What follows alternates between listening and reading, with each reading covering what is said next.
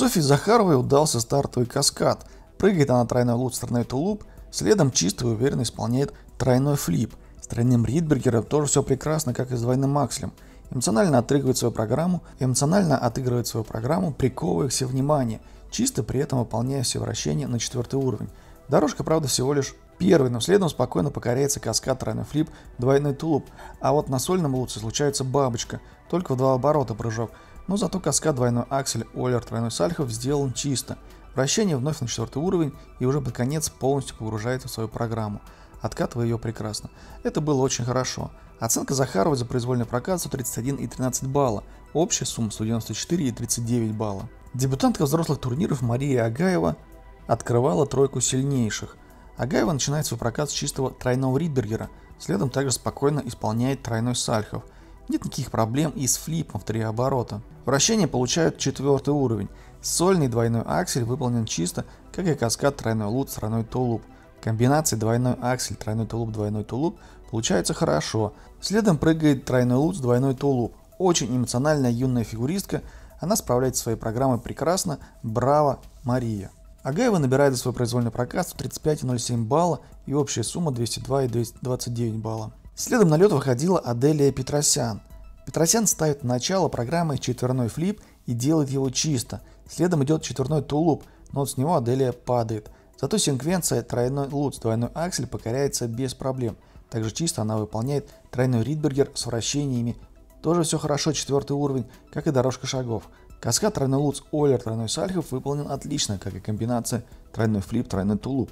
Сольный тройной флип также чисто и вращения быстрые, очень красивый, на четвертый уровень. Видно, что Аделия собралась после вчерашнего, и это было очень мощно. За свое выступление Петросян получает за прокат 164,83 балла, а общая сумма 236,31 балла. Завершала выступление женщин Алина Горбачева. В начале программы она пошла на четверной Сальхов, но он получился у нее только в два оборота. Затем следом чисто выполнена секвенция тройной Ридбергер двойной аксель. Сольный двойной аксель также не вызывает никаких проблем. Сольный флип три оборота очень четкий, красивый. Вращение у Алены на четвертый уровень. До каскад тройной луц Оля тройной Сальхов Горбачева борется, но прыгает его четко, а вот дальше обидно срывает луц. Только в два оборота у нее прыжок. Зато комбинация тройной Ридбергер тройной тулуп сделан, пусть небольшим недочетом. Вращение вновь на четвертый уровень, хорошая хореография. Да, у нее не все получилось сегодня, к сожалению, и не получилось удержать лидерство.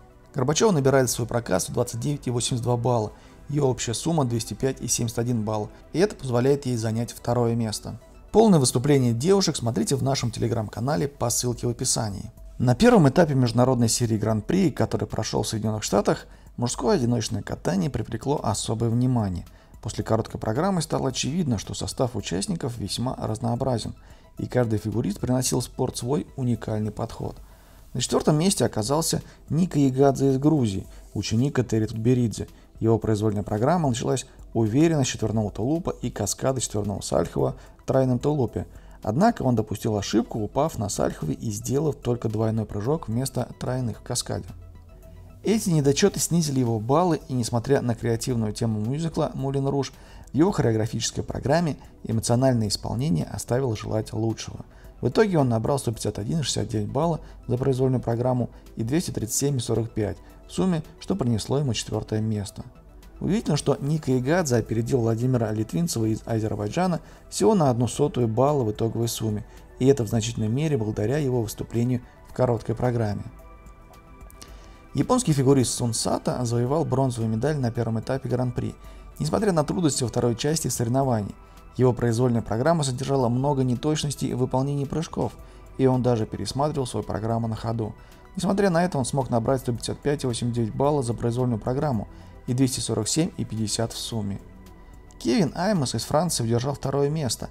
Его технический уровень в произвольной программе был скромнее, но он не допустил падений или серьезных ошибок, что оценилось высоко судьями. Его выступление под музыку Болеро завершилось эмоционально и подняло зрителей, и он набрал 181,75 балла за произвольную и 279,09 в сумме. Победу на этом этапе одержал Илья Малинин из США. Даже без четверного акселя он набрал более 300 баллов в сумме за два проката.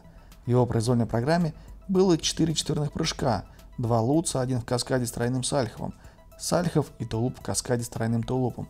Также в начале проката у него стоят тройной аксель и ридбергер. Логично, что по ходу сезона к ним тоже прибавятся обороты. Все его прыжки были выполнены чисто и судьи оценили их высоко. Его работа над хореографией продолжается, но он уже имеет высокие баллы за свое выступление. В итоге он набрал 206 и 41 балла за произвольную программу и 310 и 47 в сумме, что сделало его главным фаворитом. После целой серии мероприятий челленджеров, долгожданная серия Гран-при, где собираются лучшие фигуристы мира, наконец началась. Соревнования стартовали с выступления девушек на Скит Америка, которые порадовали техасскую аудиторию разнообразием своих коротких программ. И, конечно же, несколькими неожиданными сюрпризами в рейтинге участников. Звездой этапа стала Луна Хендрикс, которая уже дважды завоевала медали на чемпионатах мира. Она имела определенные ожидания от этого выступления и при сохранении всех остальных условий не должна была допускать серьезных ошибок. В этом случае она могла бы удержаться на первом месте. Одной из особенностей Хендрикс является ее способность экспериментировать разными образами и делать яркие выступления на льду. Для своего нового выступления она выбрала современную танцевальную музыку и добавила к ней композицию Living for Life Мадонны, что придало ее выступлению энергичности и оригинальности. Она также обратила особое внимание к своим костюмам, оставаясь верной своему стилю с минимальной длиной юбки, что позволяет ей это себе, учитывая ее изящную фигуру. В целом выступление Хендрикс не было выдающимся. Второй тройной лут, тройной тулуп в ее комбинации второй половины программы было рискованным, так как всегда существует вероятность ошибки, которая могла бы снизить ее баллы. Тем не менее, Хендрикс решил не ограничиваться безопасными вариантами, даже несмотря на неидеальную физическую форму. Наблюдатель мог заметить недокрут во время второго прыжка, что было отмечено и технической панелью. Тем не менее, она получила уверенный 75,92 балла, что принесло ей первое место.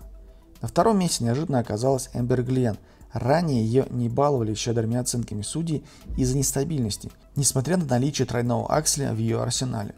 Она радует публику нестандартный выбор музыки, и в этом году она выбрала ремикс хита Heads Will Roll, что пришлось по вкусу зрителям. Это выступление было динамичным и современным, что часто не хватает фигурному катанию. По техническим аспектам выступления Эмбер не было замечаний, она не стала рисковать тройным акселем, но ее выступление было чистым и уверенным, с высокими баллами, она получила 71,45 балла, что стало новым личным рекордом для американки. Тройку лидеров закрыла Изабелла Вита, которая в короткой программе изображает змею, что даже отражено в дизайне ее костюма. Важно отметить, что часть музыки в ее программе использовалась в произвольном танце Мейсон Чок Эван Бейтс в сезоне 1920. Интересно, что Мейсон помогла Изабо с идеями для хореографической части программы. Левита и Чок провели много времени вместе на туре Stars on Ice, и на ежегодном сборе для американских фигуристов. Из-за разницы в возрасте Левита даже шутила, называя Чок «мамой». Хотя хореография была удачной, небольшие недочеты в технической части помешали Левита опередить Глен. Техническая панель заметила неясное ребро на тройном луце и недостаточно хорошее исполнение комбинированного вращения, что снизило судейские баллы. В итоге она получила 70,07 баллов и временно заняла третье место. Судейская команда в США порадовала своей объективностью, отмечая даже ошибки у лидеров – Остались некоторые вопросы относительно оценки дорожки шагов, поскольку почти все фигуристки получили максимальный уровень сложности. Но в целом это было странно, учитывая, что это начало сезона и все фигуристки, по-видимому, находились в хорошей форме.